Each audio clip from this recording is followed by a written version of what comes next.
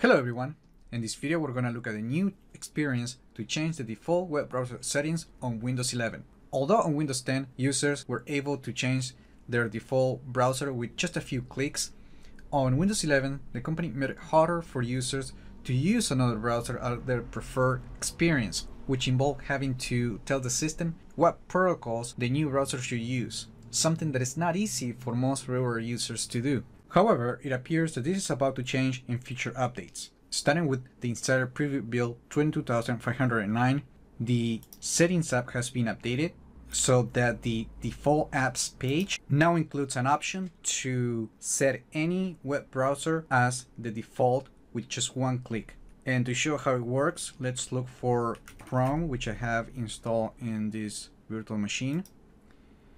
And when you open the page, you can now see the setting that reads make Google Chrome Canary in this case your default web browser which includes a new set default button. And when you click that it will automatically set the protocols that will make the web browser the new default.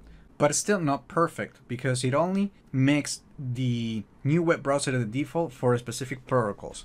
For example for HTML, HTML, and HTTP and HTTPS. And as you can see, other protocols such as PDF, SVG, and others will continue to make Microsoft Edge the default. However, if you want to use Chrome, Firefox, or any other browser to open PDF, for example, you can just click the option and you can select a different browser, but that's something that you have to do manually. In addition, when we're talking about making another browser the system default, it's only for certain things like open links from an email client or other links that you see throughout the desktop experience. However, if you open Start and you do a search and you look at the uh, web searches, the links will still open on Microsoft Edge as you can see right now.